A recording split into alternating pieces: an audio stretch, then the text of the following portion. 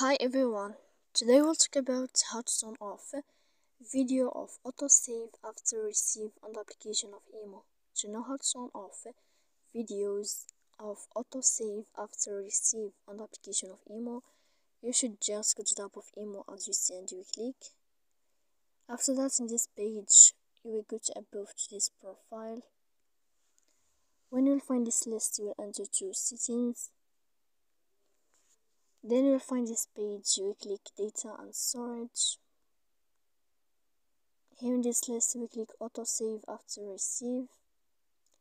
And then we click in this sign if the sign change then you can now hot turn off videos of auto save after receive on the application of imo so please don't forget to support us by like and subscribe. See you next time in another video and thank you for your attention